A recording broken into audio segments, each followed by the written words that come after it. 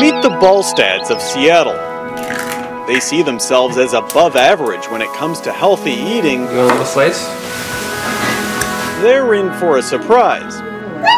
Because the Ballstads are among the millions of Americans that nutritionists say are engaging in a potentially harmful habit. They call it mindless eating. And even in this diet obsessed culture, it's happening to nearly everyone all the time. It seems like people do a much better job of being thoughtful and having more balance with their meals. It's that snacking in between that tends to be the culprit, that mindless eating that happens.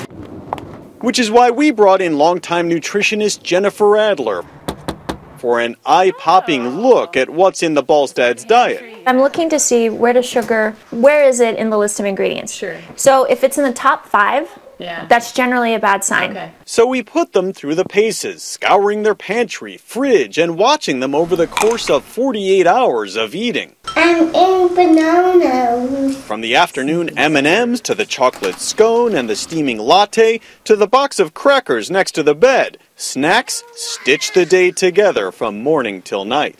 It's good.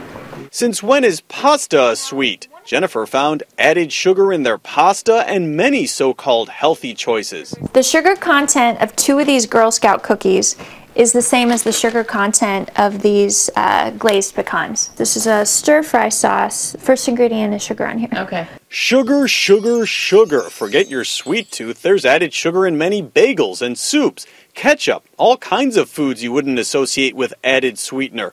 Enough added sugar for the average American to consume a whopping seven times more than nutritionists recommend every day. The recommendation is that we have uh, eight grams of sugar or less per day. Okay. Really? Yeah. Oh man. Okay.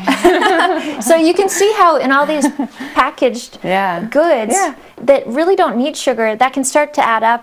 Let's face it, we are a nation of snackaholics with an unhealthy, almost zombie like addiction to the nearest cookie or chip, whether we're hungry or not, and it's only feeding dangerously high obesity rates. It's getting juicier. yeah. Sure enough, we watched the Ballstads eat some healthy meals, but here's one big problem, the same one most of us have. The filler, those mindless munchies between meals. Our work had just the big box of Oreos, so I could grab like a whole little tube and then, you know, I just sit there and, you know, kind of pop in a couple and then, you know, before I know it, you know, half is gone.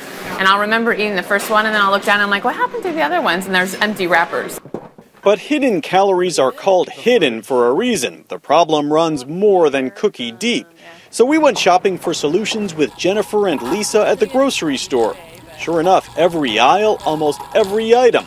Jennifer found options without added sugar. I like this. It's just pineapple. Yeah. That's a good Yeah, sign. Yeah. Let's find some applesauce. You know, like this one.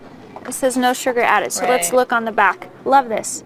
Apples and water. From beans to bread, if you look close enough, there are versions with and without sugar added. We can't always make the assumption that organic is going to be less sugar. Right. Okay.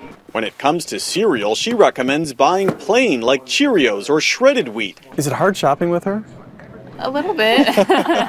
Sugar is fine when it's part of the natural ingredients. It's all that added sugar nutritionists say that makes up bad calories.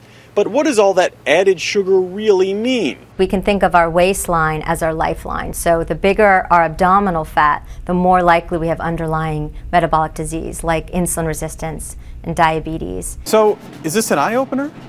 it is certainly. Yeah. I mean, I always thought we were pretty healthy and aware of what we were eating, but I guess I wasn't paying attention so much to the amount of sugar that we should have.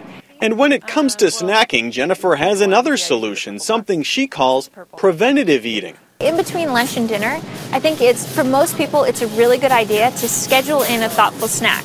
You know, so whether that's three, it's three thirty. it's four o'clock. yeah. Just run into it. No, I mean I have people set it on their phone or on their computer where they remember to have a snack so that you can have something that's very thoughtful, it's nutrient dense, it has protein in it, you know, so that you're not going to the candy bowl a half an hour later.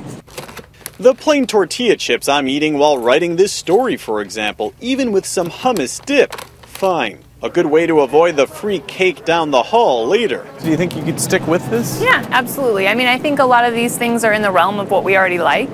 And so it's just finding that little bit different of a, you know, ingredient. Even at the jam packed pace of raising a family, hidden calories are easy to find and avoid if you know where to look. I'm Neal Karlinsky for Nightline in Seattle.